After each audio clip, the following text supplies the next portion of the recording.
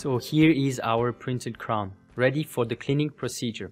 Basically, we recommend you to work under yellow light due to its light sensitivity to avoid pre-curing resin, as it can already start to cure after a few minutes.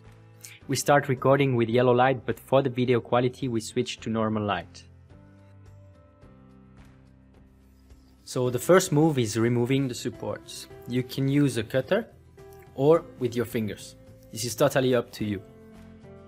The next step is very important to clean manually and make sure to avoid IPA ultrasonic bath. Why? Because it drops the physical properties to 30%. so the permanent solution will end as a temp solution or even worse, cracks can appear over time. So as you can see, I use a micro brush and a cloth. I pour a little bit of IPA and I wipe off the excess of the material. Make sure to clean inside the crown as well with a micro brush.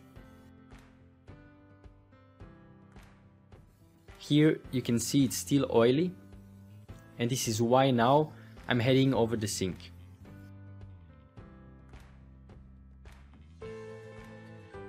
I pour again a little bit of IPA all over the crown, then I blow the excess away. The crown should be dry and clean and ready to place into the curing unit.